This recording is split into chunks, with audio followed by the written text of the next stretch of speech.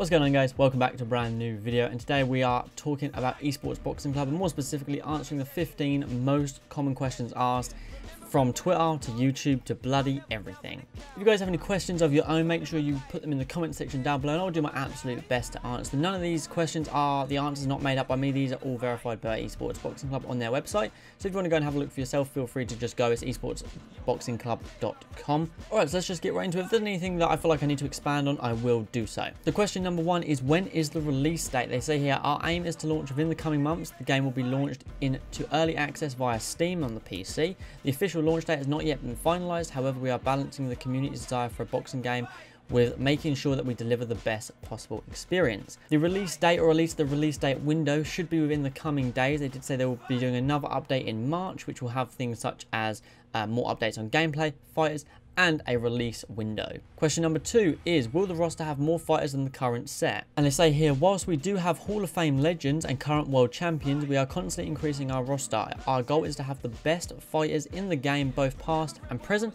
We have a number of legends that will be up, will be announcing up to the launch. So obviously on top of that, we already had the six legends that were announced. There was 65 licensed boxes and apparently there is over 100 guaranteed fighters on the full release already. Whether that will be on Steam, I doubt it because that's early access. Full release for console will have over 100 licensed fighters. Question number three is can we create our own fire? Yes, of course, uh, Esports Box Club will feature an in-depth character creation function, which we've already seen. Number four, will there be a career mode and story mode? Esports Box Club will feature an in-depth career mode to a level that will be new for the genre. We have plans to introduce a full story mode as an update once the final release is launched. Question number five is will there be real belts slash championships in the game? They say yes, we have licensed the prestigious WBC green and gold belt as well as the IBF World title, the Ring Magazine title will also be up for grabs. We also have licensed national belts such as the Coveted Lord Lonsdale Challenge title.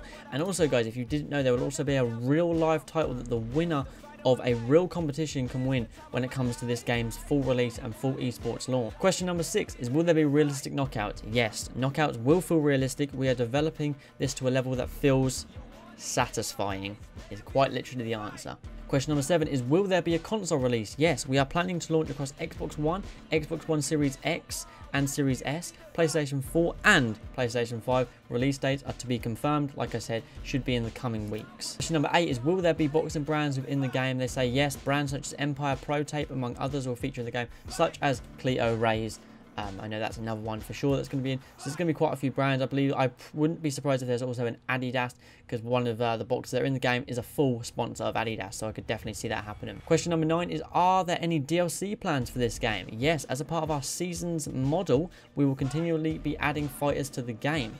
While in my personal opinion, I think it will be for free and I think the updates will be free and it will constantly rotate around like that because I think charging them would be pointless with such an in-depth character creation. Question number 10 is will there be blood and realistic damage? Yes, this will play a big role in Esports Boxing Club. Your career mode fighter will have to be managed with the quality of your corner team for this aspect. So obviously cut men, corners, things like that, you know, stop you from swelling bad, nasty gashes inside your head, shit like that. Question 11, what are your plans for online multiplayer? Current plans include exhibition fights and ranked leaderboards. We'll also be holding officially licensed World Championship which will involve the WBC and Ring Magazine title. Question number 12 is we noticed the world's strongest man Eddie Hall in the game. Is this for real? They say yes, Eddie is due to fight this year and we're in talks of many other established athletes with a boxing pedigree to be included in Esports Boxing Club. That would be cool. My thoughts were like Conor McGregor, things like that, um, but they'd be interesting to see what they put in eventually. Number 13 is we'll be able to share our fighters with the online community. Yes, we're implementing a boxer share feature within our early access release.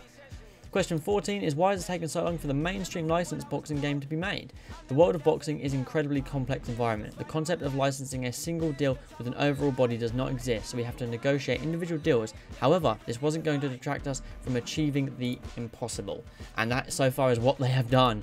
And the final question is, will you be releasing any more gameplay trailers and information? Yes, we'll be releasing another trailer prior to the launch. Our priority is to put all available resources into developing the best possible game. With this being said, you can find plenty of content around the game on our social media channels.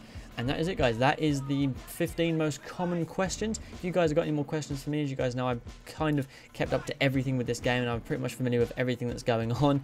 Um, I even have some of the leaked trailers. Um, but Let me know uh, in the comments down below what you want to, uh, if there's anything you want to know, and I will try and my best to answer it. And uh, yeah, I'll catch you guys in the next one. Peace.